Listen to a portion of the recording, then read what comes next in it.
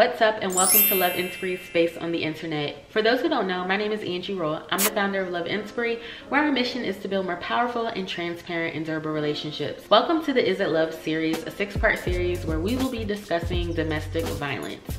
Obviously, it's October and it's Domestic Violence Awareness Month, and part of our mission here is to build powerful, transparent, and durable relationships, right? It's all about having healthy relationships. And in order to have healthy relationships, you need to know when it's not healthy.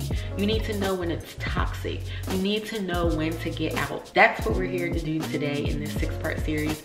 Open the conversation, open the dialogue. I am not a domestic violence counselor, so I have utilized resources. I have spent time studying. I have spent time talking to people that unfortunately I know who have experienced domestic violence, gathering information and understanding so I can present this series in a respectful and honorable way and helping people become aware of the situation.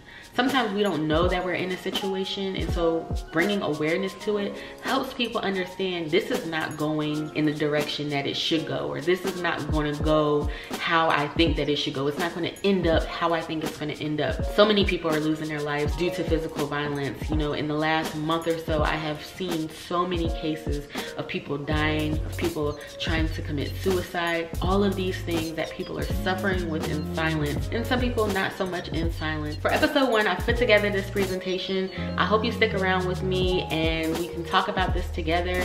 I will leave some resources that I have used in this video in the description as well. Of course, I want to make sure that people understand that I am not a domestic violence counselor. I have researched this stuff. And so I have put my resources within the presentation as well as in the description.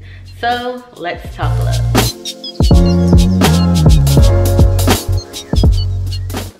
Hey guys, and welcome to the Is It Love series, Understanding Domestic Violence, episode one. So, this is where we are going to start off and get educated on domestic violence.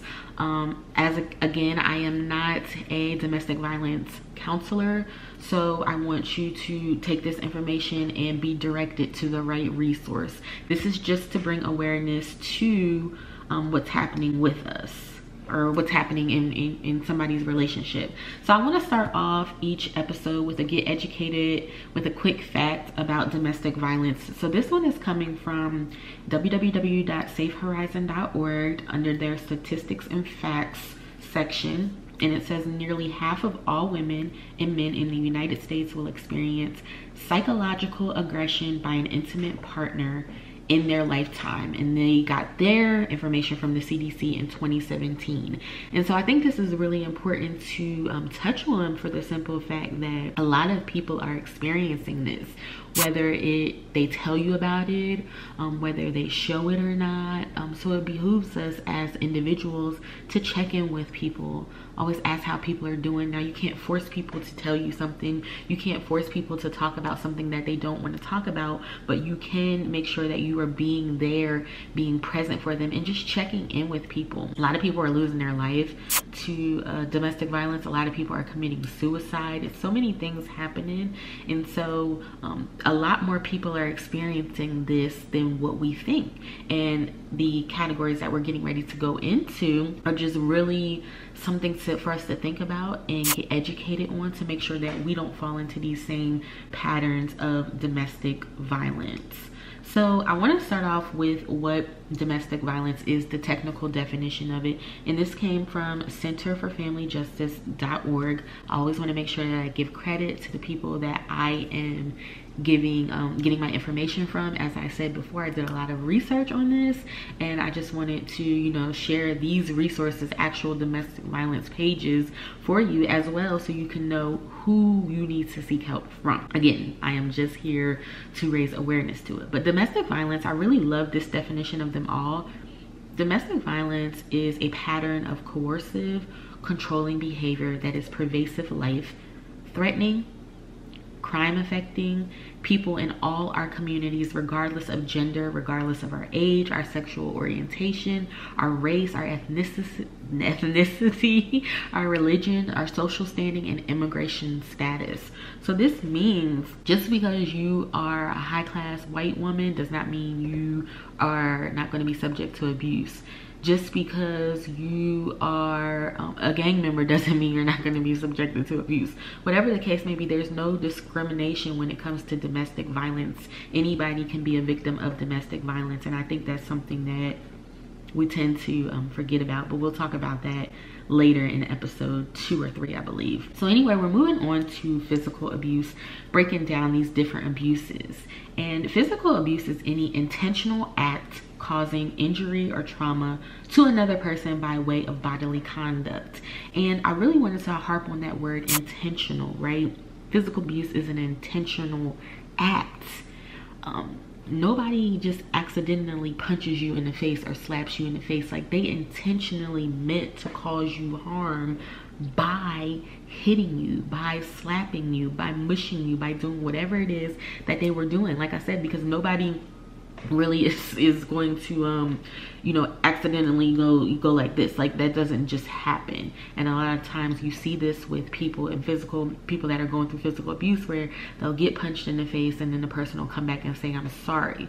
Well it wasn't a mistake. You intentionally did it. You put some effort into that you know? Like i said you can't just oh i'm accidentally hit you today no it doesn't happen that way but when I, I think of physical abuse, I want to talk about the causes of physical abuse, like situational factors, the roots, um, the real root to people's problems. And a lot of physical abuse happens with people definitely not making excuses for abusers, but how you grew up, the way you grew up, where you grew up, all of that plays a factor. That's what you call a situational factor. All of that plays a factor, a role in how this person is going to treat their significant other right? That's why it's so important like raising kids is one of the most important jobs people have to do um, is raise children in the right way. And one of those things when you're dealing with situational factors and this is something that i practice and i teach and love inspiry always understanding who you're dealing with. Always understanding um, you know why you're dealing with this person where they come from. Just understanding them in general. So you know their background. So you know how they act how they how they move. You know you know all of these things about this person. And then there's sexual abuse which is unwanted sexual activity with perpetrators using force making threats or taking advantage of victims not able to give consent. So this can happen in marriage too. And this is obviously a christian page I um, teach biblical things as well as pertaining to relationships. And, you know, we often hear that the Bible tells us to not withhold sex from our partner, right? Unless we're fasting or something, fasting and prayer or something. But I think people also need to understand that Christ also teaches us to love our partners. So if we know our partner does not specifically want to do something or they're not into something, we should not force them to do something because he taught us to love our partners.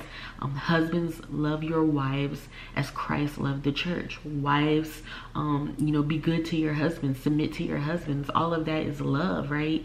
And so if we know our partner is not feeling something, we ought not to make them consent to us. I think you know, when people are using that phrase, you also need to follow up, or that biblical verse, you also need to follow up and understand that we are also um, taught to love our significant other, and that includes not making them do the things that they want to do. So we have psychological abuse as well, which is a form of abuse characterized by a person subjecting or exposing another person to behavior that may result in psychological trauma, which includes anxiety, chronic depression, or post-traumatic PTSD, post-traumatic stress disorder. So this can look like gaslighting. This can look like paranoia trying to um someone trying to break you down right? They're trying to get you um sucked in into believing that they are all you have. Like nobody else loves you. You can't go anywhere else without me. You know nobody is going to accept you. They're trying to break you down to keep you in this remember the definition of domestic violence? They're trying to keep you in this bubble of control. They're trying to keep you in this bubble of manipulation for their own benefit. It has nothing to do with you but for their own benefit. And then we have verbal abuse, which I think is often kind of put on the back burner because people don't really think of this as abuse like what we say to our partner.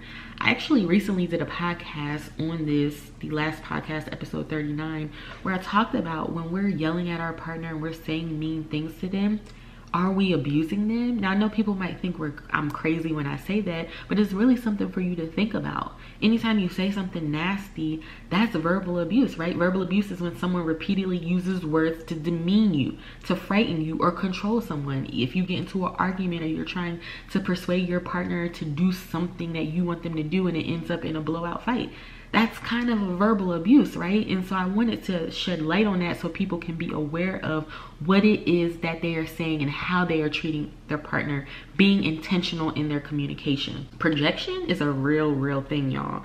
Projection is one of those things where, you know, and I often tell this story about my own self where I was um you know, I was told that I wouldn't be anything, that all I would be was a baby maker and I would never graduate college and this, that, and the third. And I was told all these things. And then I realized the person that was telling me this they weren't didn't really believe that about me. That was their projection on them own on their own selves right? I think about the incident um you know there's a lot of backlash khloe kardashian is getting for correcting people about calling her daughter big instead of tall whereas most people use the phrase big as like you're growing you're developing you're getting tall not that you're actually fat um because there's not a lot of two-year-olds that you can actually call fat. They just got a lot of meat on their bones and they'll slim out anyway. But that's her own projection because she has dealt with weight issues. And that's no shade to her because i'm all for empowering especially little little girls empowering them to understand that you're not big you're beautiful you're this you're that. But that's also a form of projection because she experienced something she doesn't want her child to experience. Even though it's a good thing right? It's still projection, and this happens with verbal abuse. Um, they're demeaning you because maybe they were demeaned. Um, they are belittling you or trying to control you because maybe they lost control. Maybe they were sexually abused as a child. Then we have financial abuse, right? So financial abuse is known as the silent weapon. um, it's used in toxic relationships to financially control their partner's access to economic resources. So basically they're withholding bank account information, they're keeping you from getting a job, things like that is financial abuse. And you know, for a lot of stay-at-home moms, stay-at-home moms, stay-at-home wives, this thing can work as long as you are a team, as long as you are talking about finances together, as long as your partner is not withholding things from you. So of course, if you're a stay-at-home wife, if you're a stay-at-home mom, always make sure you stay in and know and don't just become ditzy and just like oh whatever happens happens because that's how um, control and manipulation can kind of creep in and sweep into the relationship so always know what's going on when it comes to finances and the last thing that I want to talk about is cultural abuse, right? So cultural abuse happens when abusers use aspects of a victim's particular cultural identity to inflict suffering or as a means of control. So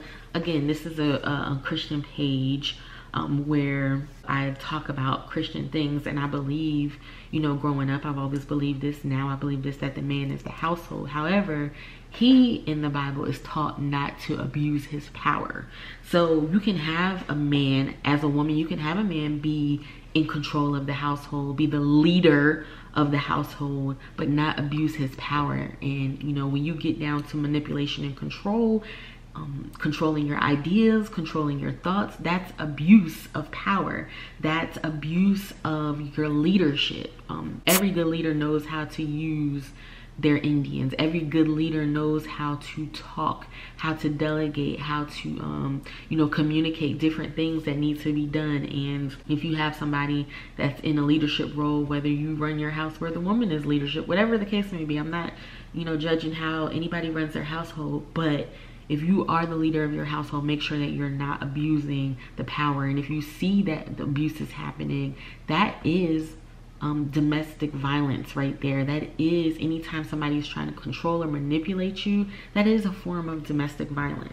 A special shout out to reachma.org.